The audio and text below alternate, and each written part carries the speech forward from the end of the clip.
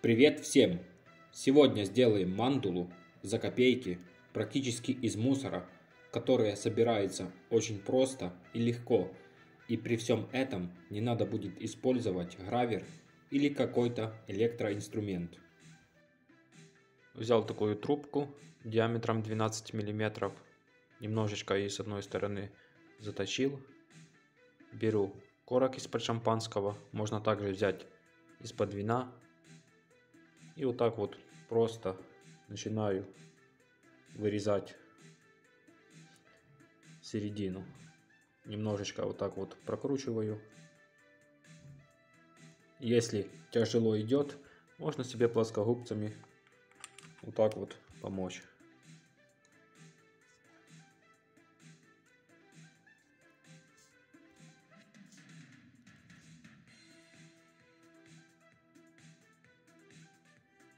Получается очень ровная, красивая деталь. Немного отрезаю канцелярским ножиком. Слегка выравниваю на наждачной бумаге с обеих сторон. Шилом проделываю сквозное отверстие. Так же само прохожусь тоненьким сверлышком.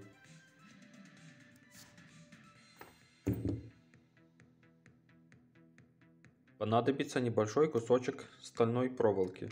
Лучше всего брать нержавеющуюся. Я использую диаметром 0,9 мм. Загибаю с одной стороны вдвое. Прикладываем к заготовке, смотрим сколько нам надо. С другой стороны также фиксирую плоскогубцами. И также само сгибаем, только уже в другую сторону. Теперь где-то посередине плоскогубцами зажимаем и свободным концом надо обкрутить вокруг проволоки где-то один-два раза. И так же само вторым. И в итоге получается такая конструкция. Я думаю, рыбе тяжело будет ее разогнуть. И берем нашу проволоку и просаживаем внутрь корка.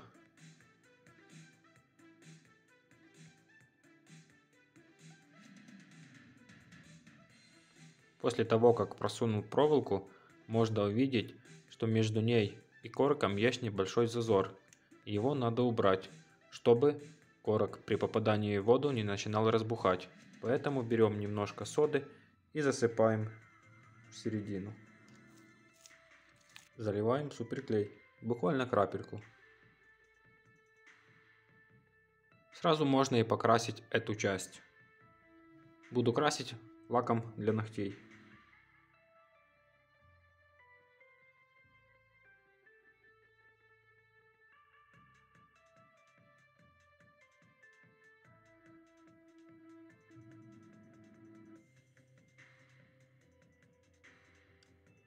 Взял проволоку немножечко потоньше, уже 0,5. Теперь складываю так же само ее вдвое. Измеряем теперь на тройнике. Вот так вот примерно она будет сидеть. Вот эта часть будет подсоединяться. И вот здесь надо опять согнуть таким вот образом.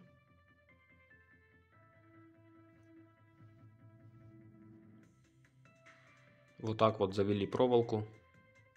И теперь просто вот этими концами надо вокруг ушка здесь обмотать несколько раз.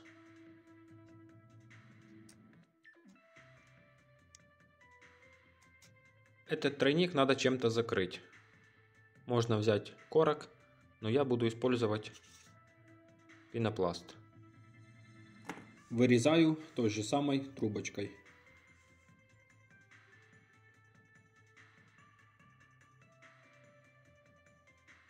Отмеряю, сколько понадобится.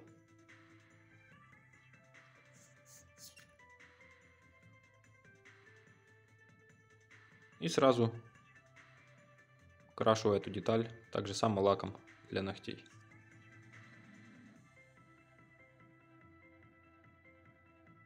Все, когда сделали, одеваем на тройник.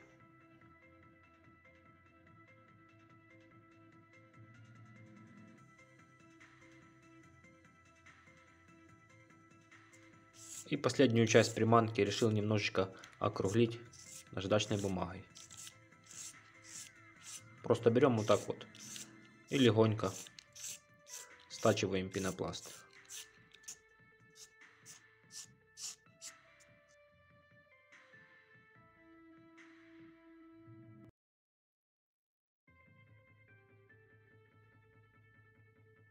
Теперь понадобится немного простой оранжевой нитки. Складываю нить в несколько раз.